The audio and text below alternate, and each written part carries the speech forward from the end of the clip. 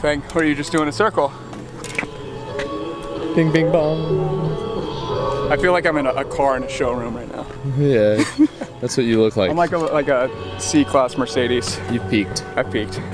All right, guys, what is up? YouTube. Today, it's me, your humble host, JR, the humblest of humble. Humblest of humble. But we also got Lee. Lee, you want to say hi? the humblest of cameramen. Yeah. But we are here at the Sarasota Skate Park, and I'm going to teach you how to do a 360 tail whip. So let's get it. All right, so first thing you want to do when you are wanting to learn how to three whip is, hey, you gotta know how to 360, you gotta know how to tail whip, and I suggest knowing how to tail whip air because that'll kind of help you out with the, uh, the spinning part. You can watch my how to tail whip air right here. But the second thing you want to do is find the perfect flyout. So we have this giant quarter wedge bank thing, and it'll it'll work for today's video. On. Yeah, skateboarder ruining the audio along with this horrible music. All right, so when you're coming at the flyout, you want to get a good amount of speed. You want to go, I would say at least three feet to, to four feet, just depending on how fast your whips are and how fast your spins are. Um, when you three, you want to go straight, and as soon as you're pulling off the lip and you're kind of hitting 45 degree angle, that's when you want to do the tail whip, like start the rotation of the tail whip. It's just like in a tail whip air, like you do that, so then you're starting here, and then I usually catch maybe like right under 180, and then I, you just pull it right around.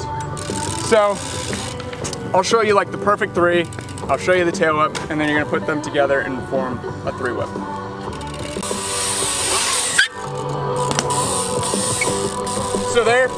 I was nice and level.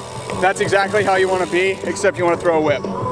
So I guess I'll just throw a three whip and you'll see where I kicked it off and everything. Okay? Okay.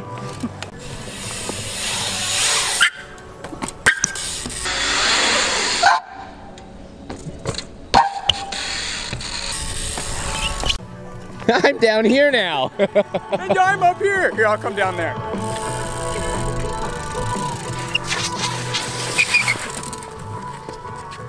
So, as you could see, as soon as I took off, I dropped my shoulder hard, hit my brake, whip it around, got right under 180, caught, and pulled around. A really good tip for these is just stay over your bike. Everything is all about being over your bike because if you're too far back, you're gonna loop out and your bike's gonna be too far away. But when I'm doing them, I'm looking and keeping my shoulders squared right over my bike like this. And so I can see everything that happen. I literally watch my feet pull on and then crank around.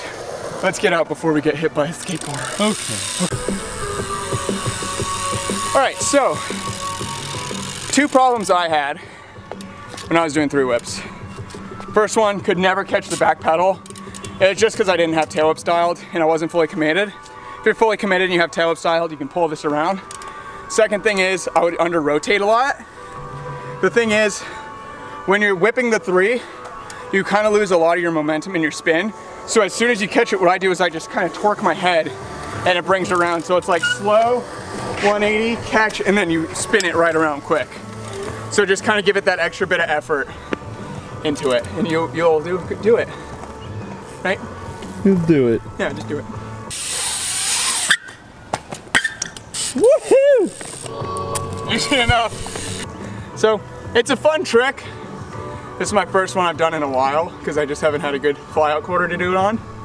And uh, yeah, comment down below if you get it. Comment if you have any questions. Uh, send me clips of you landing it on Instagram at the real JR Hobbs. And don't forget to buy some merch at LYNBMX. Link is right here, and we'll see y'all later. Bye bye.